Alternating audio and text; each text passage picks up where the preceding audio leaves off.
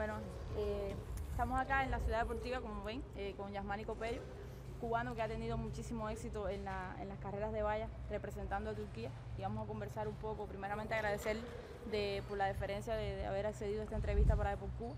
Y bueno, vamos a conocer un poco cómo valoras tu temporada, la, temporada anterior donde quedaste quinto en el Mundial, con un tiempo que realmente marcaste en esa carrera el mejor de tu temporada. ¿Cómo lo, lo Sí, muchas gracias por la entrevista. Yo, bueno, el año pasado estuve un poco como que no estuve a gusto por lo que es la preparación. Estuve muy bien hasta que llegó, iba a empezar a correr en Shanghái, la Liga Diamante, y siete días antes tuve que hacer un ritmo de carrera y hacía mucho viento en la pista y me, me hizo una ruptura de dos grados que me tuvo parado casi 48 días específicamente parado completamente. Estuve haciendo mucha rehabilitación y la pierna no mejoraba nada. Tuve que viajar a Alemania a hacer algunas terapias extra porque el músculo lo quise hacer como que una recuperación activa y lo que el músculo llevaba descanso y lo que seguí dándole arriba de la, de la herida y no cicatrizó nunca.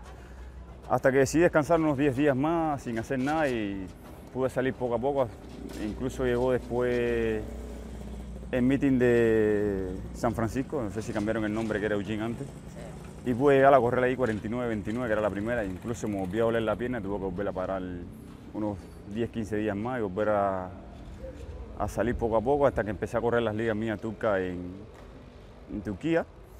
Y pude volver a coger mi forma deportiva hasta que llegué a, a París, Diamante de París, y pude correr mis 48, que me costó el año pasado muchísimo, después de cinco carreras, poder correr 48 otra vez, que para mí normalmente lo hago en la segunda, tercera carrera al momento. Entonces, ¿consideras que de alguna manera fue un éxito la temporada? Mm, sí, para mí sí, Teniendo en los aunque, por supuesto. sí, aunque si te decía que si faltaban tres o cuatro carreras más después del Mundial, yo podía haber Mejorado. vuelto a correr 47 otra vez porque me quedé con mucha ganas. Entonces, directamente como yo, le regalé la carrera, la medalla de bronce a Samba, porque cuando venía en el grupo que yo estaba en la octava valla, dije, bueno, ahora es que yo empiezo a correr, no tenía ningún tipo de ácido láctico y nada, estaba muy bien. Dije, entonces voy a apretar desde aquí y apreté, me emocioné tanto que co- corté un poco los brazos y la décima valla me dio 15 pasos, que yo normalmente corro 14, entonces como empecé a hacer frecuencia, se me fue un poco el ritmo y, y dije, bueno, fallé.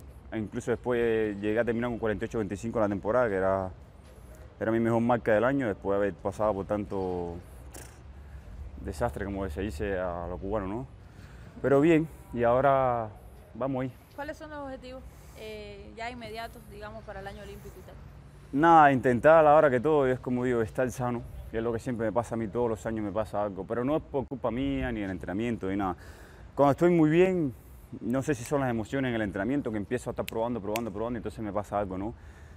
Y los objetivos son claros, llegar a los Juegos Olímpicos, intentar no llegar con ninguna molestia, que es lo digo, yo siempre estoy en el top 5 del mundo y siempre pasa, las vallas son muy traicioneras. Y conmigo siempre se cuenta al final. Yo te digo, yo tenía que haber dado una sorpresa en ese mundial ahora, pero bueno, pasó lo que pasó, no le he hecho culpa a nadie, yo entrené muy bien. Incluso la preparación del año pasado fue perfecta, ahora estaba empezando muy bien, ahora llevo dos semanitas, incluso empezando hasta la tercera y estoy ya corriendo más fluido y esas cosas, así que vamos ahí bien.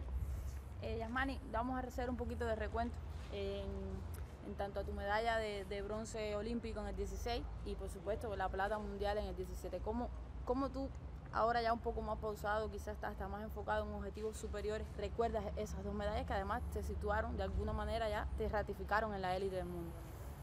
¿Cómo, ¿Cómo recuerdas a nivel de sensaciones? Sí, sensaciones para mí fue cuando yo llegué a ser campeón de Europa en Ámsterdam en 2016, ya mi cabeza cambió completamente. Yo, bueno, si ahora soy el mejor de Europa, solo me queda batir tres, cuatro mejores que hay en América y acabar con ese 5 o 6 que hay por ahí.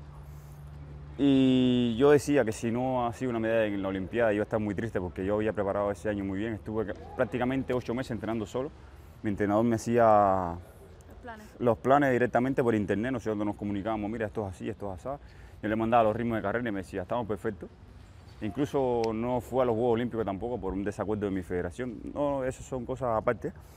Pero muy bien. Y no, al no irme entrenador también le, le debía mucho, ¿entiendes? Decía, estoy aquí solo, voy a correr por ti, por mí, por mi familia, que ahora es el momento, ¿entiendes?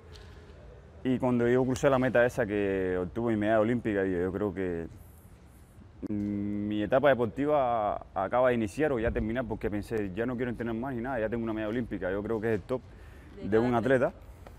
Y dije, pero bueno, no, después seguí emocionado dije, bueno, si ya cogí aquí, voy a hacer lo que, lo que más difícil se puede hacer, ¿no? Tener una Europa, una Mundial y una Olímpica, que era el trío que necesita, a veces desean muchos atletas en, en el mundo. Como aquí, correr, ganar un Panamericano o una medalla Panamericana, después salir a, a unos Juegos Olímpicos y un Mundial y obtener las tres, ¿entiendes? Que hay mucha gente que la tiene, pero para mí ese era un objetivo.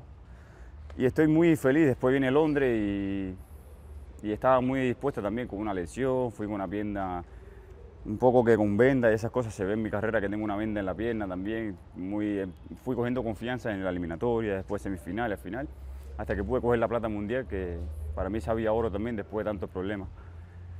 Y es muy, muy, muy bonito eso de haber luchado tanto, tanto, y entonces ahora lo que me tocaba era, después de Doha y esas cosas, era ratificarlo, o volver a, a tomar una medalla, lo que sea, o estar en el top 5 o el top 10 del mundo y es lo que estoy haciendo, a pesar de que soy el mayor, ahora mismo soy el mayor de cuatro vallas, ya no, todos los niños que están ahora 21, 19, 20 años, 22, yo soy el único que tiene 32, eso es como decirle el... El veterano.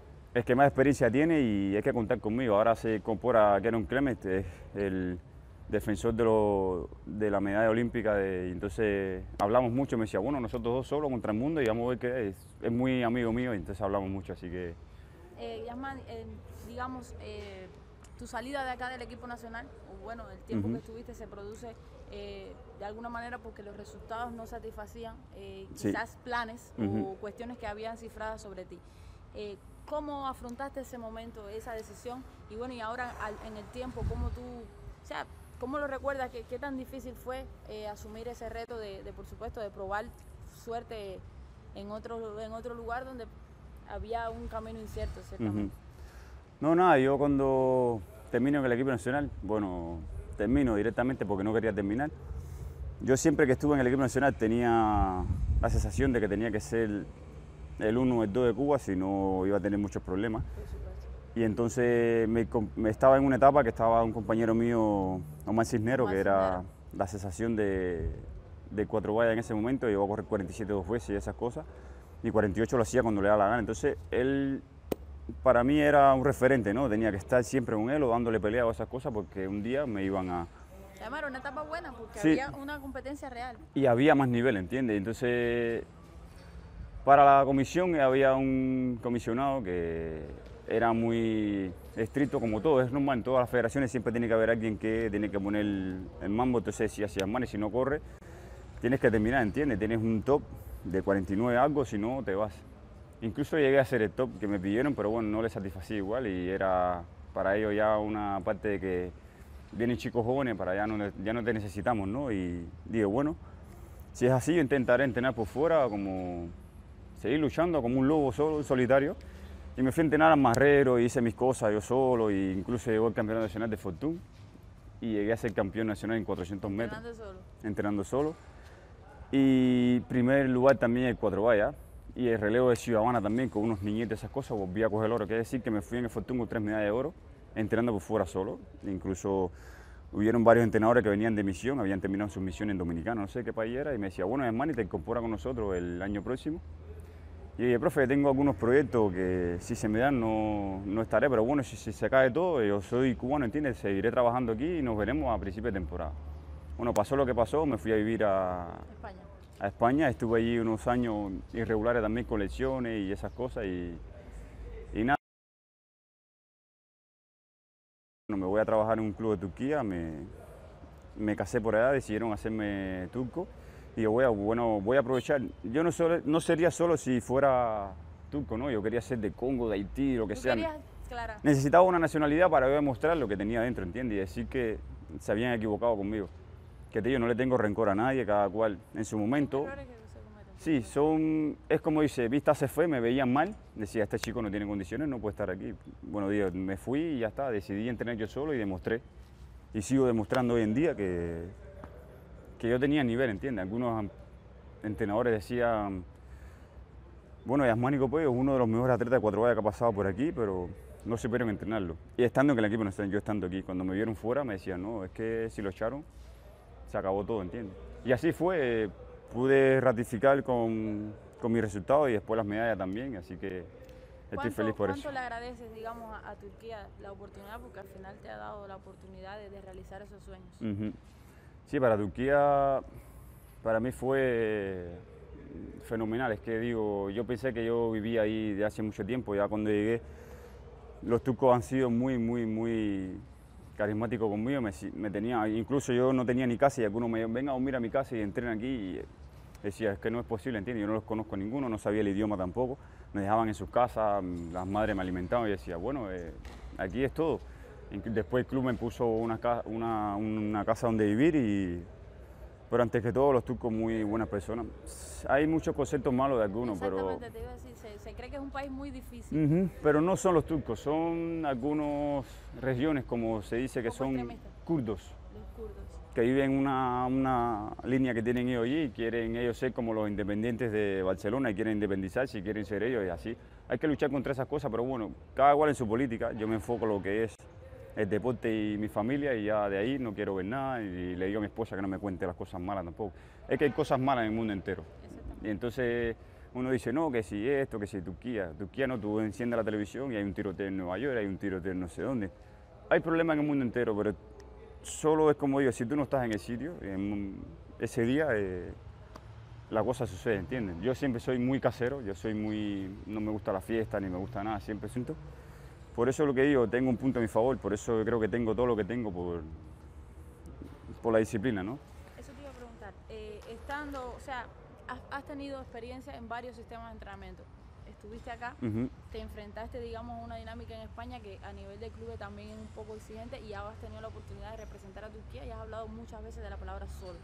¿Cuánto eh, significa, digamos, cuánto ha cambiado o cuánto cambió tu mentalidad en todo este, este- en este tránsito de que te ha, este camino que te ha deparado la vida? Sí, es como decía, yo he entrenado solo, me ha- incluso me han puesto compañeros de equipo y no lo sobrellevo. No sé si es que está en mi conciencia de que yo debo estar solo desde que empecé en 2014 a entrenar con mi entrenador. Ha intentado venir varios atletas y no, no los aguanto, ¿no? El ritmo, esas cosas, tú los ves muy rápido, si no los ves muy lento, entonces yo digo, no, no me adapto. Yo tengo una compañera, no sé si la conocen, Yailei Pedroso. Sí. A mi Claro. compañera, mi hermana, entrenamos desde los 12 años. Muy pequeñito venimos juntos, después ya se fue a Italia, yo me fui a España, incluso ella me decía, vente a entrenar con mi entrenador, vente a entrenar con mi yo, no, tranquilo, tenía fe en el entrenador cubano que tenía, ¿no? Que tampoco lo hizo mal, solamente que mi entrenador en España tenía muchas, eh, como se dice, proyectos y cosas que tenía que realizar con niños y escuelas y becas. No podía enfocarse Y directamente no en te- ti. eso, entonces estaba, llegaba muy temprano, sino muy tarde, ¿Este entonces... fue el entrenador tuyo muy no? pequeño, Sí. eh, que me incluso crecí aquí, eh, de 12 años, vine entrenando aquí con él. Después se fue a España, me intentó por todos los medios sacarme de España, que eso se lo agradezco muchísimo. Y entonces empezamos a trabajar, entonces hubieron lecciones y cosas, la alimentación. Tú sabes, cuando uno va pasando el proyecto de las cosas, uno va aprendiendo la vida, ¿no? Entonces, entonces eso influye mucho. Uno dice, no, que, que tiene que estar todo el tiempo descansando, hay que alimentarse bien, hay que comer lo que sea para tener tu cuerpo hidratado y... Hay que claro. Ajá. Y entonces eso, para ¿Tu mí... entrenador actual es el mismo de Yadis Leiva? Sí. Es el- italiano, ¿no? Ajá. Llevamos ahí desde el 2014, me dio la confianza de trabajar con él. Y ahora mismo dice que es lo mejor que ha tenido en sus manos él, que gracias a Dios, de, como disciplina, esas cosas, es como, ya no es mi entrenador, es como un hermano, un padre, siempre estamos haciendo cualquier cosa allá fuera del campo, en todo, dormimos juntos, venimos en casa, hace todo. Es como, por eso nos llevamos tan directamente la dinámica. Ajá. Y entonces ya no solo es deporte, ya es familia y las cosas que tú dices, ya esto no es... La relación Ajá. incluso mejor, ¿eh? Claro, claro. Eh, Yasmani, ya un poco para ir eh, resumiendo, ¿cómo, cómo recuerdas, eh, digamos, a Cuba en tu día a día? Porque, bueno, sí, eh, hay que agradecerle mucho a Turquía, pero de alguna manera hay un componente cubano en tu, en tu resultado, pero más que en tu resultado, en tu corazón. ¿Cómo, cómo lo recuerdas en tu, en tu día a día? No, es lo que ¿Qué digo. te enseñó? Para mí, todo lo que tengo se lo debo a lo que yo vine haciendo desde niño, ¿no? Aquí, si no hubiera, eh, no, no- si no hubiera llegado con la base que yo llegaba, que tenía aquí en Cuba, Europa, yo no podía hacer lo que soy hoy, ¿entiendes? Aquí se entrena muchísimo, aquí hay mucha disciplina, creo que un 200% lo que tengo es la disciplina que aprendí desde Cuba, desde niño, que si no hago una cosa hoy, al otro día como que me siento mal, entonces eso me lo enseñaron lo que es el entrenador cubano e incluso el chino con su... Empuje, sí. Sí, con sus empujes y sus cosas, es normal, es entrenador y quiere que sus atletas estén eh, a todo nivel, ¿no? Y entonces le agradezco muchísimo que me haya formado como una base lo, de haber salido de aquí de Cuba e incluso siempre vengo a hacer preparación aquí. No digo, es como siempre yo no tengo, llama, ¿no? No tengo rencor a nadie, yo siempre voy al estadio, saludo a todo el mundo. El que me tenga sus cosas son problemas de ellos, yo no lo tengo nada con nadie, incluso me llevo con mi, entre- ex entrenador perfectamente, somos, siempre hablamos y debatimos lo que es entrenamiento y esas cosas. Y estoy muy agradecido. Para mí Cuba es fenomenal, te si hubiera para mí una Cuba más tranquila en lo que es, aquí me dificulta solo lo que es el gimnasio, tengo que ir allí, Claro, tengo que ir acá, sí. Pero, de alguna manera. pero fuera de ahí, perfectamente, Cuba para mí es lo mejor, no solo por entrenamiento, sino la cubanía, la tranquilidad, todo. Popeye, una prueba difícil en los tiempos actuales, tanto en mujeres como en el sector masculino. ¿Cómo, cómo tú ves el nivel que, que se, ha des- se ha- se ha desatado en- quizás en las últimas dos o tres temporadas de tu prueba en los dos sexos? Sí, eso, como decís, se fue Usain Bolt y ahora ha regresado lo que es mi evento a la top élite. Yo decía, antes se corría 48, 60, 60 el año entero y ahora estos chicos no se han burlado de esas marcas, ¿no? Es decir, 47, 7, 8 carreras ante los mundiales, tú dices, ¿De dónde salieron, no? Ajá, entonces me, me coge la duda o estoy más yo, o están ellos sobrepasados, ¿no? En lo que es entrenamiento, esas cosas, pero son jóvenes, ellos no tienen miedo a nada, tienen hambre de, de título y es normal. Cuando yo tenía su edad, entre 25 y 26, que fue cuando empecé yo a tomar mis títulos también, entre 27 y 28, que fue cuando yo quedé quinto en Beijing en 2015.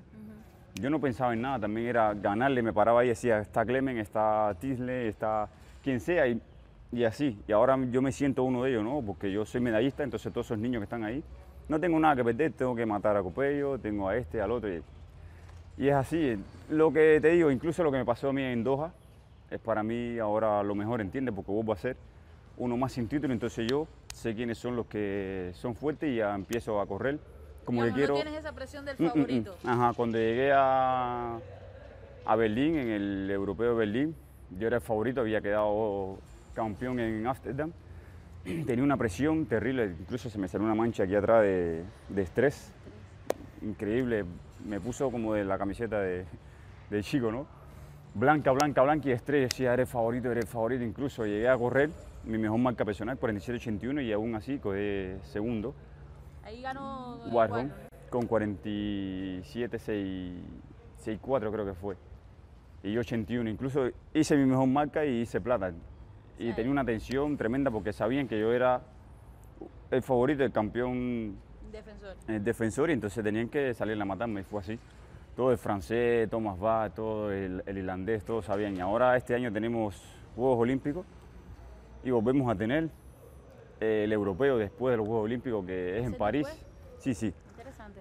Es en París y hay un francés que está jovencito también, como 22, 23 años, que es inestable, pero ya... Pero tiene, claro, tiene Sí, sí, madera. corre 48, 30, corrió el año pasado, pero bueno, llegó a un mundial cansado, pero está, entiende que si le da por correr el, el europeo, me quita los títulos, que es lo que digo, aquí está el, no Que solo, la bola, ¿no? no solo pensar en, el- en la Olimpiada, sino pasar por la Olimpiada muy bien y llegar al europeo, ¿entiendes? Porque cuando tú tienes un nivel muy alto, tú dices, bueno, si ya no puedo en la Olimpiada, tengo que mantener mi Europa, ¿entiendes? Que es como un panamericano que tú dices, el europeo, Es un estatus también. el top 3 de siempre y entonces es muy bueno para mí. ¿Qué crees de, lo- de los récords de, de Muhammad?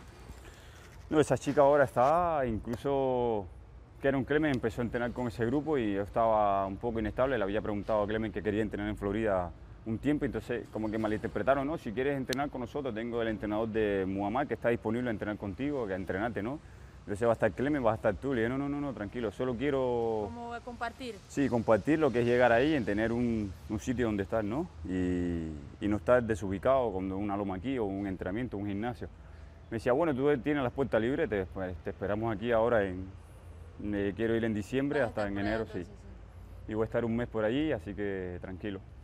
Eh, dime, para cerrar un poco, un un asunto que los atañe a todos. ¿Qué crees del dopaje, de cómo se ha ido manifestando este tema y, y de alguna manera que te afecta directamente? Porque por supuesto puedes ser vulnerable ante atletas que tengan, eh, digamos, el consumo de esta sustancia. Sí, ojalá que mi evento, como está hasta ahora, nadie salga dopado porque, te digo, le contaba a mi mamá y a mi familia, decía, yo he entrenado como una bestia, he dejado mi vida entrenando y que después de 7, 8 años, 9 años esté en mi casa ya retirado y que me digan, no, tal, tal, salió este y tienes esta medalla, lo que sea, tú dices, he estado toda mi vida fajado con una mentalidad de que estoy entrenando, entrenando, entrenando, estos chicos pasaban como pasaban y yo no podía, es que yo sí podía, ¿entiendes? Es que estaba entrenando con gente sobre...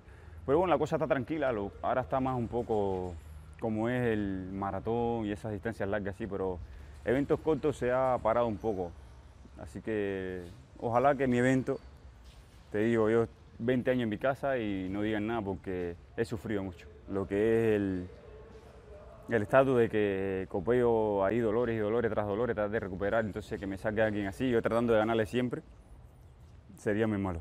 Eh, un mensaje para, digamos, para los cubanos y para la gente que te va a ver a través de Por Cuba. Eh, sí, para mí, te digo, yo tengo mi corazón y mis cosas en, otro país, pero sigo siendo cubano, siempre se lo digo, eso no se puede quitar ni, ni nada. Y muchísimas gracias que me apoya, hay mucha gente aquí de la vieja escuela, como digo yo, que me da muchísima alegría. Hoy algunas veces tristeza porque los veo que se han ido del equipo nacional y sé que tienen talento.